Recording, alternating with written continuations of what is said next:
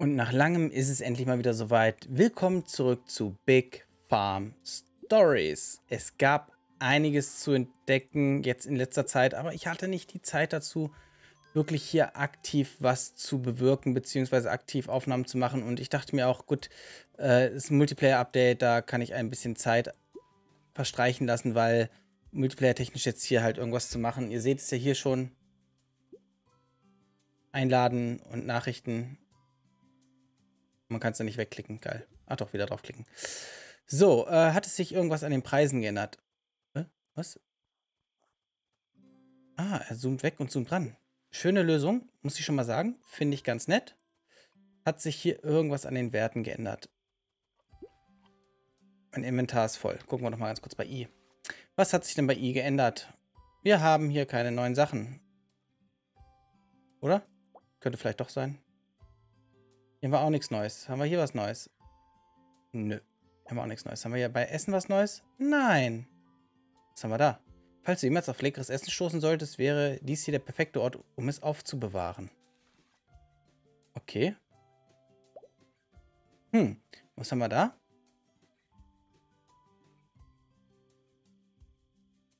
Jetzt bin ich schockiert. Jetzt bin ich sowas von schockiert, dass sie sowas machen.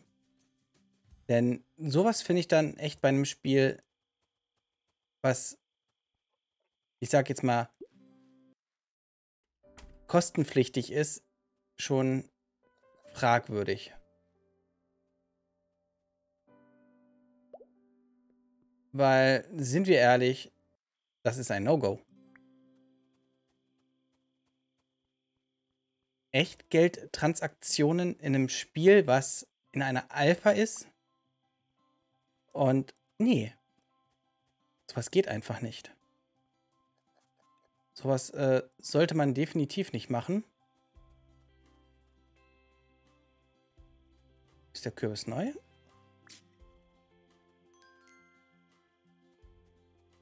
Ich meine, ich brauche noch 30.000, um hier weiter vorwärts zu kommen.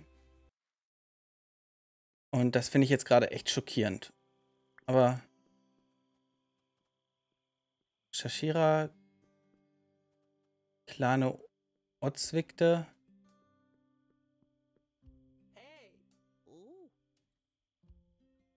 Oh, Rita ist da. Ich habe deine neue Brille mitgebracht.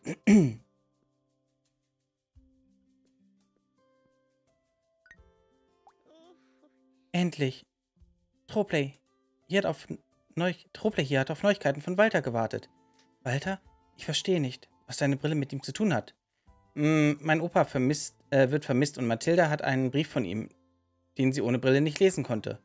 Vermisst? Seltsam. Ich bin übrigens Rita, Rita Mercury, lokale Reporterin. Okay, okay. Lass mich das jetzt mal lesen. Liebe Mathilda, es ist fertig, ich bin vorbereitet, habe fast alles im Wald gefunden. Und den Rest im rostigen Haken gekauft. Kaum zu glauben, dass alles mit diesem Kochmagazin begann. Das Leben ist zu kurz, Mathilda. Hm, das ist alles komisch. Oh, wie aufregend. Das ist die Art von Geschichte, die meine Zeitung braucht. Aufregend? Mein Großvater wird vermisst. Ich mache mir Sorgen um ihn. Aber vielleicht stellt er uns dieses Rätsel mit Absicht. Es geht ihm gewiss gut, nicht wahr, Mathilda? Walter geht es immer gut, da bin ich mir sicher. Aber dieser Brief ergibt nicht viel Sinn. Ich stelle Nachforschungen über die Hinweise an. Komm zu meinem Caravan, sobald du bereit bist, darüber zu reden.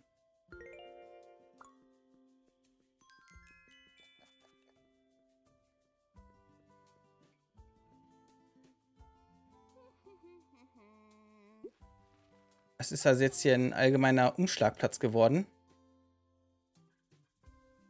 Okay. Die laufen alle wie verrückt umher. Und der hat auch schon wieder neue Sachen. Na, Hallöchen, was möchtest du? Über das Formular. Hallo, Herr Bürgermeister Connor, wie geht's? Hey, Truppler, ich habe ja gerade an dich gedacht. Da du die Farm deines Großvaters übernimmst, müssten einige Formulare angepasst werden. Was für Formulare? Nur die Farmregistrierung und dass du jetzt hier einziehst. Kannst du das hier bitte zu Am Amelia bringen? Zu Amelia? Ja, wie sie mich nur zu, gerne ständig daran erinnert, dass sie die Bürgervertreterin ist und äh, mu sie muss das auch noch unterzeichnen. Okay, dann bringe ich es ihr. Komm danach gleich zurück. Ich habe dann noch ein paar spannende Informationen für dich. So, aber wo ist jetzt der Caravan? Da oben kann man jetzt auch was kaufen. Da ist der Caravan. Hi, was gibt es? Hast du schon über die Hinweise nachgedacht? So, so. Hallo, Detektiv Troplay. Bist du bereit, einen inneren Spürhund zu entfesseln? Äh, eigentlich meinen inneren Schweinehund. Ach, witzig, aber du solltest diese Energie besser darauf konzentrieren, dieses Rätsel zu lösen. So, Walter hat uns drei Hinweise hinterlassen. Das Kochmagazin, Einkäufe beim rostigen Haken und ein Besuch im Wald. Es gibt nur eine Person auf dieser Insel, die uns etwas über das Kochmagazin sagen kann. Claire Cuisine. Wo kann ich Claire finden? Claire wird in diesem Restaurant Petit Four, Petit Four neben dem Restaurant sein. Und äh, wegen dem zum Rostigen Haken? Zum Rostigen Haken ist ein Fischerladen unten am Stand. Dort solltest du vorbeischauen und nach den Einkäufen fragen, die Walter erwähnt hat. Oh, aber du kannst da jetzt nicht hingehen. Der Strand ist noch geschlossen. Und im Wald? Der Wald ist groß und es gab diesen Sturm, also brauchen wir die Hilfe eines Fährtenlesers. Es gibt einen Fährtenleser in der Stadt? Natürlich, den besten. Ezra, der Hund und Shepard. Äh, der Hund des Shepards. Bring bald das Briefumschlag zu Ezra. Er sollte für ihn ausreichen, seinen Geruch aufzunehmen. Komm zu mir zurück, sobald du mehr über die Hinweise herausgefunden hast. Nun aber los mit dir und folge den Spuren. Das Spiel ist im Gange. Wie wenig XP man hier bekommt. Also, der Strand ist noch gesperrt. Das heißt also, am Strand wird es dann irgendwann weitergehen. Wir kriegen nicht alle Hinweise. Oh Mann.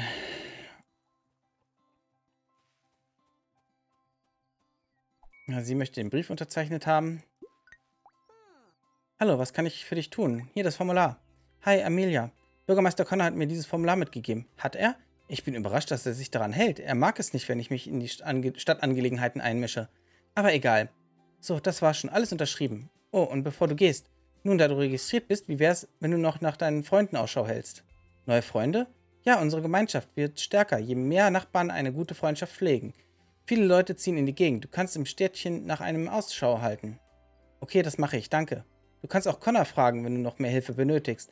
Und wenn du neue Freunde gefunden hast, dann erzähl ihm davon. Er wird das gerne hören wollen. Ja, das ist dann halt der Multiplayer-Modus, der dann hier wahrscheinlich angeteasert wurde. Aber wir suchen ja jetzt den Hund.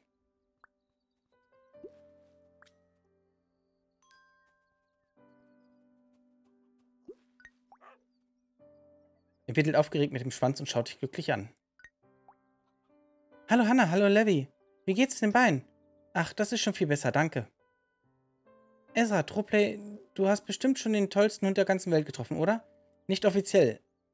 Es ist mir eine Freude, dich kennenzulernen, Ezra. Ich habe gehört, er weiß, wie man Fährten liest. Na klar, nicht wahr, guter Junge? Mein Opa ist immer noch verschwunden, aber ich habe diesen Brief hier. Könnte Ezra seinen Geruch im Wald auch spüren? Vielleicht, lass es uns versuchen. Das ist fast wie eine Schatzsuche. Aber der Schatz ist Troplays Großvater. Hier, Ezra, guter Junge. Wo ist der Großvater? Finde den Großvater, Junge. Wuff, wuff, wuff, wuff. Arr. Da läuft er. Ein echter Schatzsucher. Yay. Los, folgen wir ihm.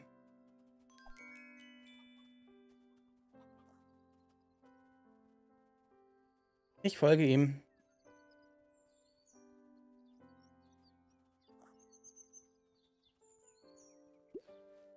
Schön einfach verschwinden.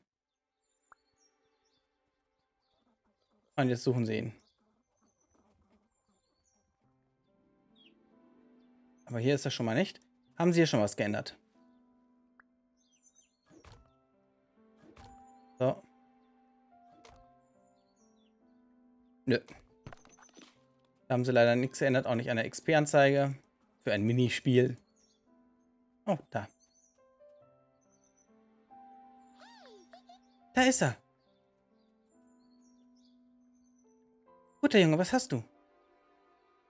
Wuff. Ich glaube, er zeigt in die Richtung der Insel im See. Aber wie kommen wir dorthin? Es ist zu weit weg, um hinzuschwimmen.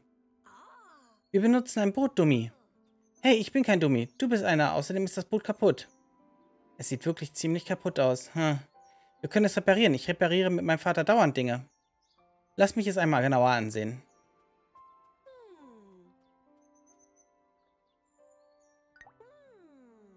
Es sieht nicht allzu schlimm aus. Und hier ist etwas Holz. Damit kann ich den Flicken schon mal beginnen. Ich hoffe wirklich, dass du es reparieren kannst, Levi. Ich will nicht auf dem halben Weg zur Insel versinken. Wir werden nicht sinken. Ich bin mir sicher, dass es klappt, richtig, Levi? Los, lass es uns zusammenflicken. Yay, gemeinsam wird es ein Klacks. Ich fange dann schon mal an, aber wir brauchen noch Sachen. Zum Beispiel mehr Holz und so ein Kram. Alles klar, ich besorge die Sachen, die wir brauchen. Ihr beide bleibt hier mit Ezra. Ich habe eigentlich alles da, ne? So schnell kann man ein Boot reparieren. Ihr glaubt es kaum. Siehst du, ich habe dir doch gesagt, dass ich es schaffe. Wenn es untergeht, sage ich es Papa. Es wird nicht sinken. Okay, ihr zwei, alle an Bord. Beste Schatzsuche aller Zeiten. Maulwurfsinsel und 300 XP. Na, das ist doch schon mal schön.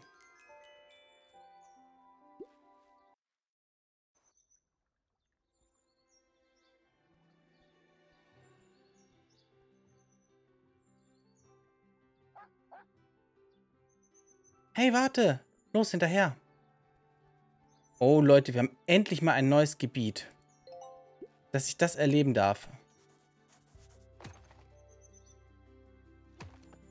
Oh, und die Steine klingen anders. Bringt zwar immer noch nicht mehr, aber hey, hier haben wir mehr Steine zum Sammeln. Jedenfalls wirkt es erstmal so auf den ersten Anschein. Aber man muss auch sagen, so groß wirkt die Insel gar nicht aus der Ferne.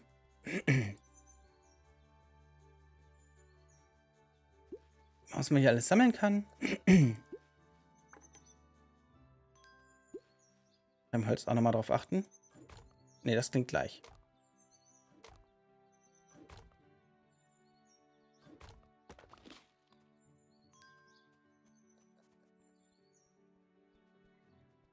Ich muss wieder den Hund finden, super.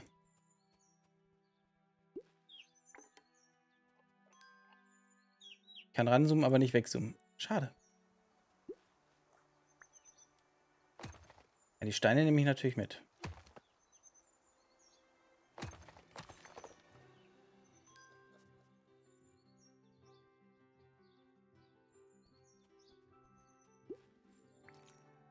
Oh, da ist eine Truhe.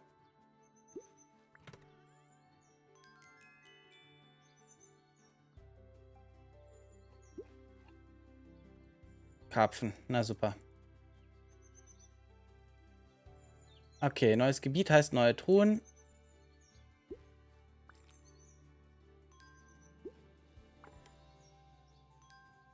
Das Gebiet scheint auch ein bisschen größer zu sein als die anderen Gebiete, so vom ersten Gefühl her.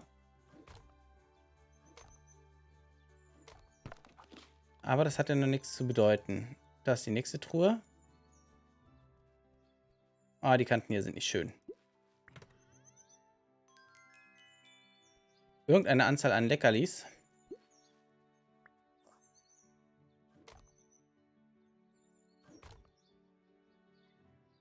Ja, und ich sag ja, es ist immer noch nicht gepatcht, dass man hier mit drei perfekten Schlägen das kaputt macht. Ist anscheinend ein zu großer Aufwand.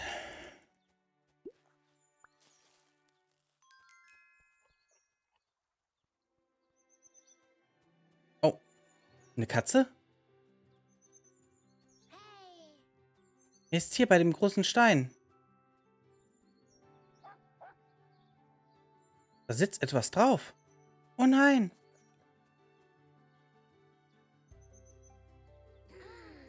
Es ist Shady. Wie ist denn bitte schon Shady da hingekommen? Wenn sich mein Opa nicht zufällig hinter diesem Stein versteckt, dann scheint das eine Sackgasse zu sein. Für einen echten Abenteuer gibt es keine Sackgassen. Schärft eure Sinne. Seht nur, da ist etwas unter Shadys Pfoten.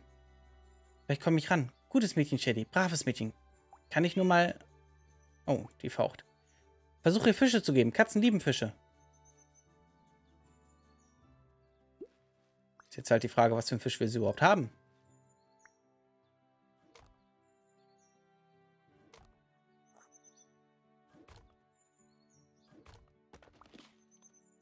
Irgendwas hat das Schwein entdeckt. Steine.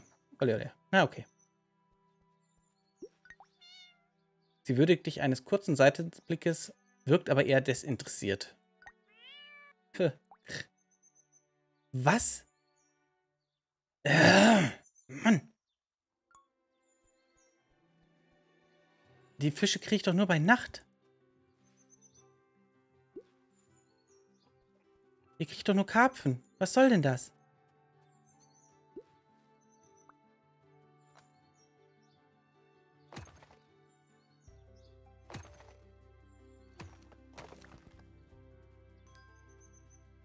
Kann ich hier noch außen lang? Okay, hier kann ich außen lang. Und da ist auch noch eine Truhe.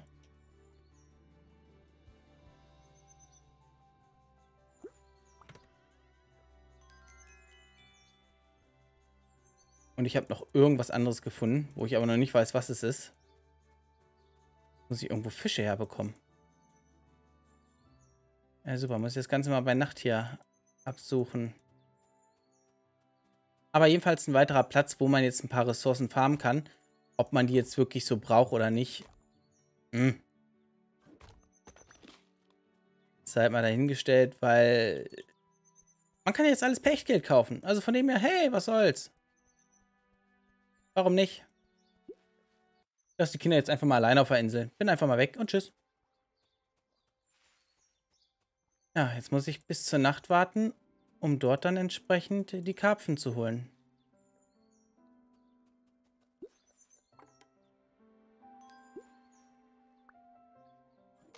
Ob das Ganze Sinn macht? Hm.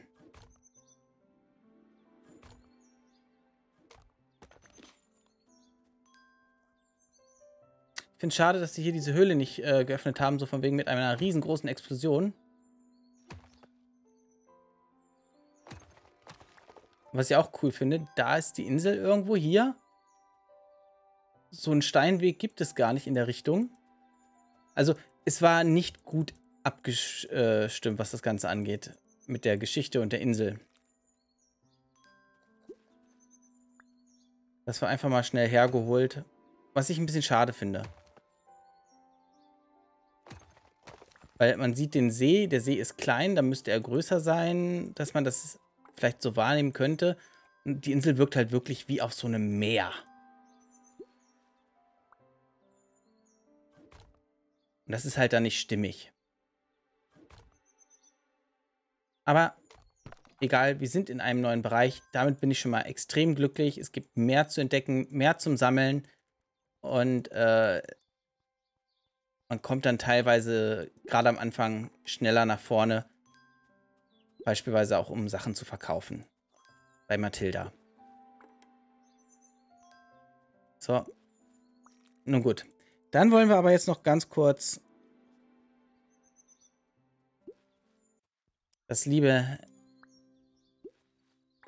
nette Formular zurückbringen, was man uns ja vertrauensvollerweise zur Verfügung gestellt hat. Oh, die haben allgemein ein bisschen an den Sounds gearbeitet. Finde ich schön.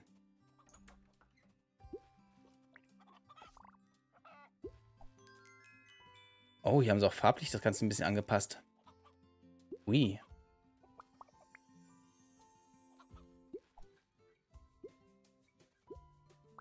Und ich habe immer noch nie so Premium-Futter gesehen.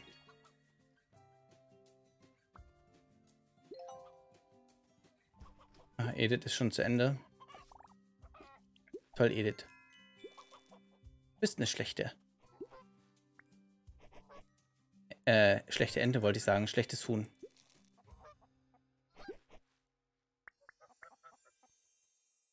So. Aber die Ente, die ist glücklich. Das ist wichtig. Und ist jetzt auch auf Level 10. Und wirfst jetzt mehr Federn ab? Nein. Ach so, weil du noch ein Level kannst. Okay. So, wir sammeln hier, wie gesagt, noch einmal ganz kurz ein bisschen was ein. Kein Platz mehr.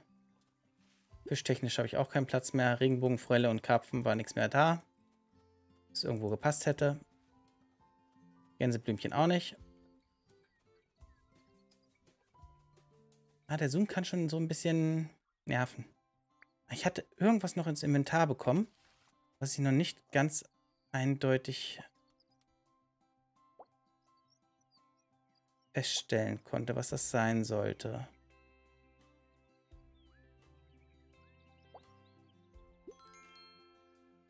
Gourmetaler. Ich brauche nur noch 10 Gourmetaler, um mir besondere Zutaten vom Petit vor vorzukaufen.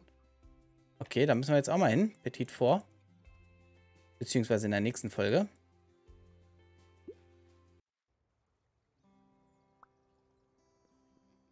Ja, aber ich habe doch jetzt das Formular ausgefüllt für ihn.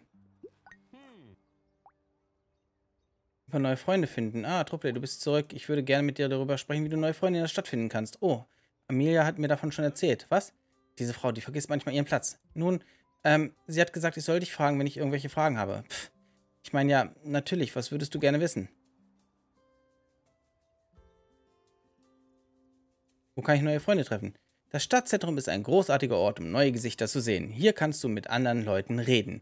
Und wenn du dich dann mit anderen befreunden willst, dann kannst du das entweder direkt hier machen oder du schaust in dein Adressbuch und lädst sie darüber ein, ihre Daten einzutragen.